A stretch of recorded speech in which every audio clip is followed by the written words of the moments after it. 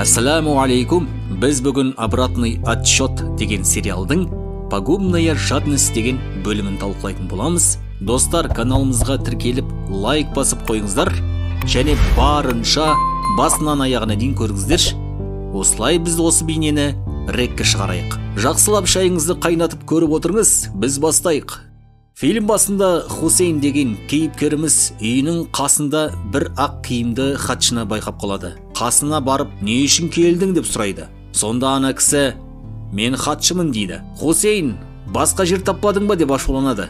Оған жауап ретінде кез келген адамға өзінің хаты келгенін айту керек дейді. Сенің де хатың келді. Маңайды қара. Бүкіл тіршілік өлуде. Енді сенің кезегің келді. Сенің жапырағың түсті дейді. Солай хусейн түс көріп жатып оянып кетеді. Бұның жай ғана түс болғанына хусейн қатты қуанып сыртқа шығады. Есік алдында бір хатты байқап қалып түсіндегі хатшы әкелді ме? деп ашуға қорқып тұрады. Сөйтсе ол хат әйеліне келген екен. Әйелі хатты оқып қуанып үйіне кіріп кетеді. Сол кезде хусейнге осы ауылдың тұрғыны эмин атты кейіпкер келеді. Ол хусейннен қарызға ақша сұрайды. Хусейн болса осы ауылдың бай адамы еді. Сол кезде хусейннің бойында сараңдық ойнап қазір ақша жоқ бара ғой дейді. Емин екі күннің ішінде қайтарамын деп сұрай береді. Хусейн кетші деп итеріп жібереді. Ал жан алушы періште хусейннің уақытын күтіп қарап тұрады.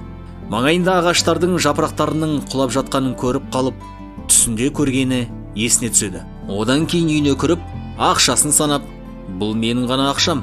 Мен осы үшін теріліп жұмыс жасадым. Не үшін біреуге беру керекпін? дейді. Емен үйіне келеді. Сөйтсе үйінде қарны аш сәбиі бар екен. Әйелі күтіп алып хусейн қарызға ақша берді ме? деп сұрайды.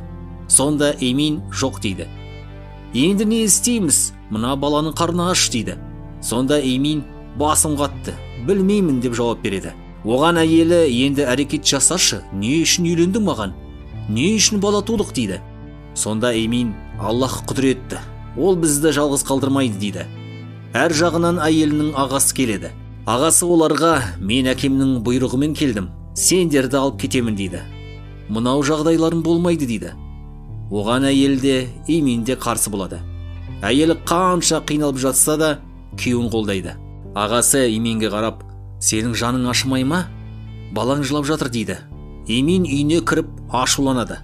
Сонда әйел болса хусейн саған ақша бермеді.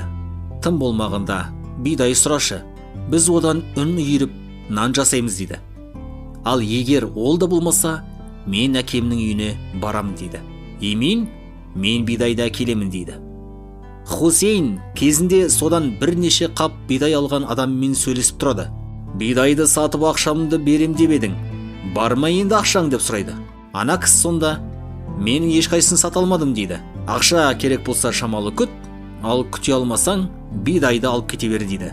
Оған хусейн ашуланады. Сол кезде емин келеді. Хусейн бірден мен ақша жоқ деп айттым ғой деп айтады. Оған эмир мен ақша сұрау үшін емес маған бір қап бидай берші кейін қайтарамын дейді. Хусейн оған жарайды мен саған бір қап бидайыңды беремін тіпті тегін. Бірақ менде шарт бар. Мына амбардың ішіндегі қырық қап бидай бар соны тракторға артып одан кейін диірменге апарып түсіру керек дейді. Оның барлығын бір сағаттың ішінде жасау керексің дейді. Егер үлгермесең онда ештеңе алмайсың дейді. Емин жарайды дейді. Қасындағы бағанағы кісі хусейнге сен сондай қатыгез болмасаңшы қалай бір сағаттың ішінде үлгереді? Аясаңшы жігітті дейді. Хусейн мән бермейді. Еминнің әйелі мириям баласын тербетіп жұбатып отырады. Емин бүкілін тракторға артады. Хусейннің қасындағы жігіт сен әлі осы үшін жауап бересің. Сен дұрыс жасап жатқан жоқсың дейді. Хусейн болса мен не үшін жауап беремін? Мен оған көмектесіп жатырмын деп ақталады. Әр жағынан жан алушы періште қарап тұрады. Мериемнің әкесі мен ағасы келіп жағдайларын қарап кеттік бізбен дейді. Мерем болса мен именді күтемін. Ол қазір тамаға келеді дейді. Әкесі болса екеуінің қырсықтарың үшін мен өзімнің жиен немеремнің қиналғанын қаламаймын дейді. Емин хусейннің диірменіне қаптарды кіргізе бастайды хусейн сағатты қарап қояды. Хусейн оған сенде 25 минут қалды үлгермейсің ау дейді. Бейшара эмин бір қапты алу үшін тез тез жүгіріп жұмыс жасайды. Хусейн таң қалышпен қарап тұрады. Эмин негізі үлгерді бірақ ең соңғы қапты жерге түсіріп тесіп алады. Сыныққа сылтау деген сияқты соны сылтауратып хусейн еменге ұрса бастайды. Қап негізі өзі де шамалы тесік еді. Бірақ сараң хусейн әйтеуір сол қапты бермес үшін себеп табады. Еменді итеріп жібереді. Оған емин сен дұрыс жасап жатқан жоқсың. Алланың алдында жауап бересің дейді. Хусейн болса одан сайын ашуланады. Сонда емин кешірім сұрап осы қап менің үлесім болсыншы мен үлгердім ғой дейді. Бірақ сараң хусейн бермей қуып жібереді. Емин кетеді. Тікелей адамның хақысын жегендік бұл негізі. Мериемді әкесі кейіндіртіп бітті кетеміз күйеуің келмейді дейді. Мерием әлде именді үміттеніп күтіп тұрады. Хусейн үйіне келеді қараса дәл түсінде көргендей қарамалы өліп қалған екен. Оған хусейн ашуланады. Имен үйіне келеді қолында ештеңе жоқ. Әкесі мен ағасы именге ұрсады. Кедергі жасама біз қызымызды алып кетеміз дейді. Емен қарсылық білдіріп еді ағасы ұрып құлатады. Солай қызын миремді алып кетеді. Емен жылап қалады.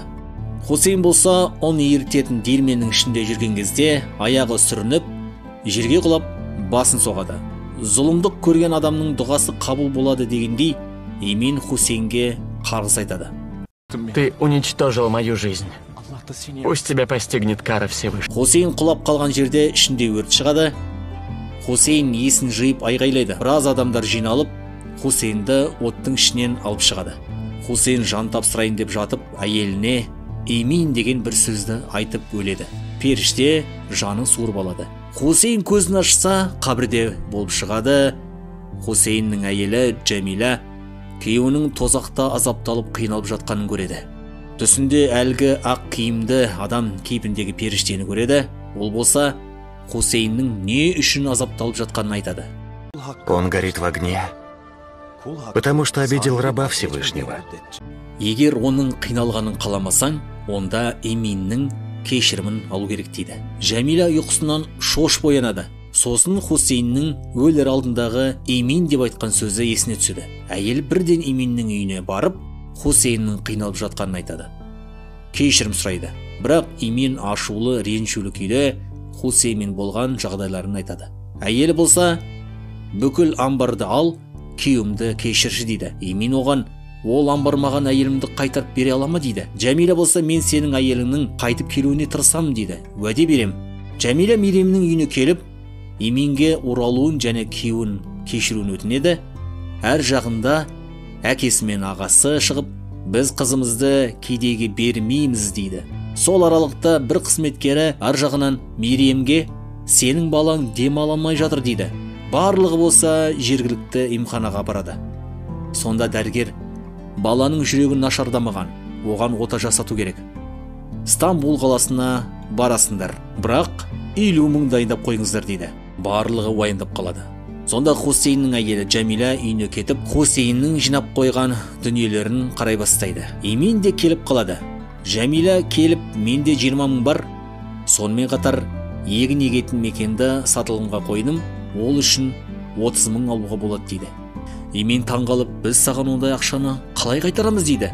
Сонда жәмила бұның бәрі менің күйеуімнің сараңдығы еді. Бұл сіздердің хақыларыңыз. Кешіре алсаңыздар менің күйеуімді кешіріңіздерші дейді.